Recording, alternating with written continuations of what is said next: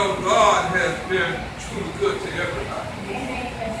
Sometimes we need a change. And I'm going to come from 1 Corinthians, the 15th chapter, and the 51st verse. You have words, find any words, everybody say amen.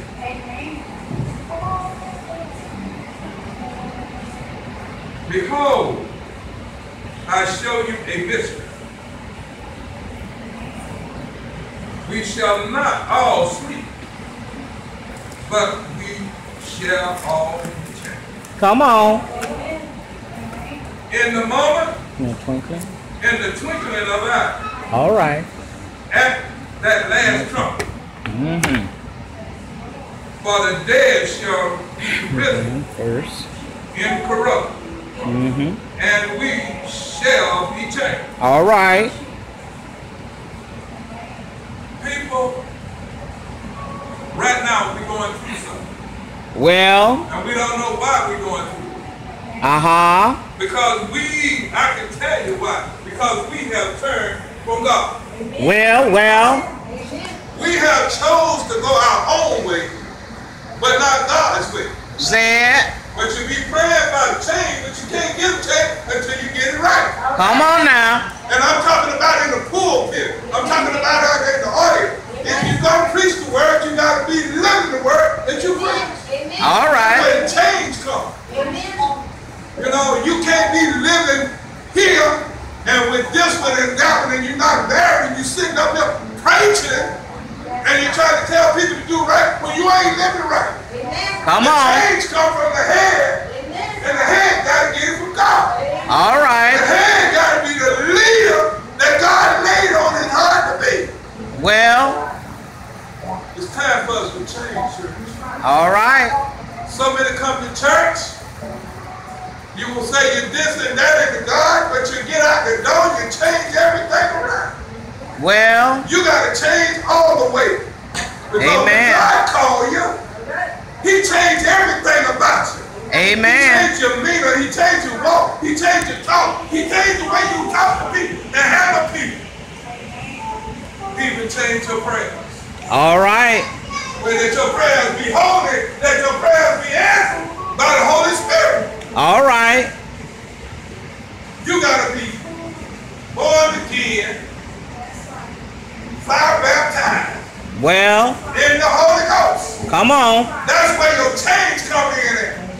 That's All where right. your walk come in at.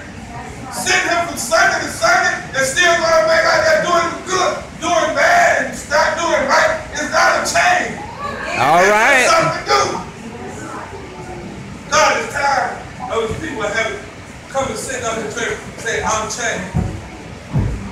Huh? Y'all might not like what I'm finna say, but God is getting tired. And he's waiting, he's waiting the streets. He's sweeping them clean. People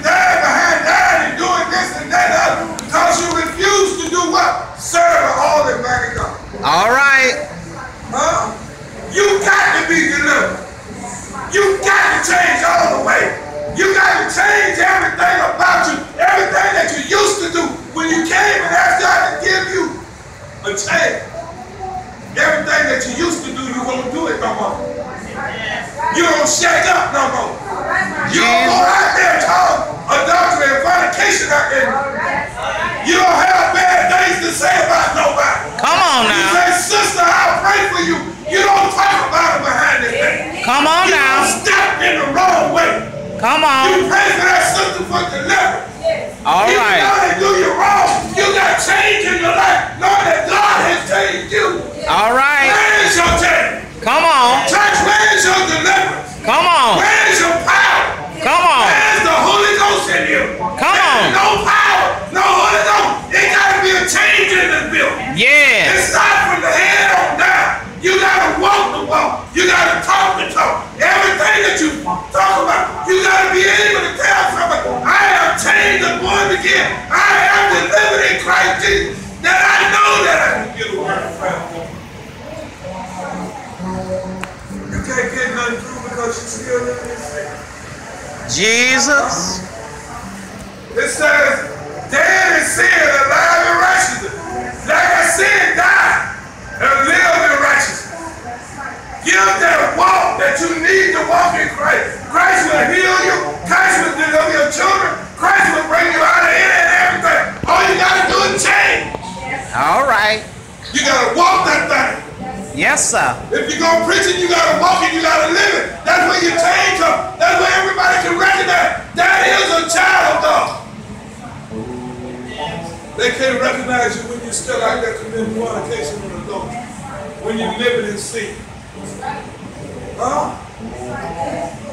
It got to be a change. I'm a living witness that it was a change in my life. That's why I can preach the word like I preach it, because I have been through it. And I know you how to come out of it. And you got to come out of it through prayer and praying and trusting in God and asking God for change. All right. You got to ask Him to change you.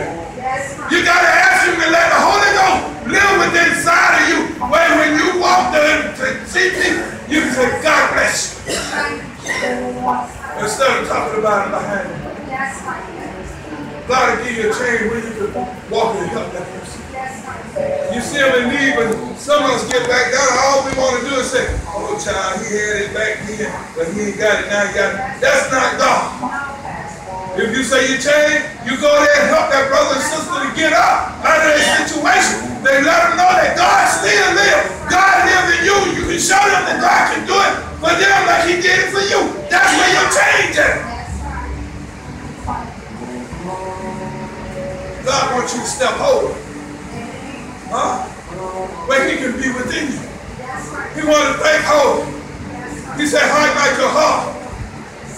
You don't supposed to hide your heart against Christ. You don't supposed to hide your heart against nobody. You don't supposed to hold no evil in your heart. You're supposed to be unchanged. All right. Huh? I, I, I, I'm here to tell you that you need to feel the power of the Holy Ghost when the word goes forth. You need to be able to feel it living in you. You need to be able to feel it that He gives praise, that He gives glory because He's worthy to be praised. Get out of God don't deal with no dead house because you know you're dead in sin. All right. He knows you in sin. He asking you today to change your life. Get your life in order. Get everything right with you. Be able to cry out. Let it teach you. Let him guide you. Let him direct you. All your answers in the word God. It's in the word. It's in the word. If you read the word, it will help you change. Just because you get a preacher in your hand and join the church, that don't mean you saved. It's a process. It's like a baby being born. Uh, when a baby birth, he lean and depend on mom. When you birth in Christ, you got to lean and depend on God. Huh? When, when, when, when you begin to come out and start sucking on milk, you got to depend on God for that milk because He nourishing you. The change is starting. You start to begin to grow. You start to begin to eat, eat baby food. Some of.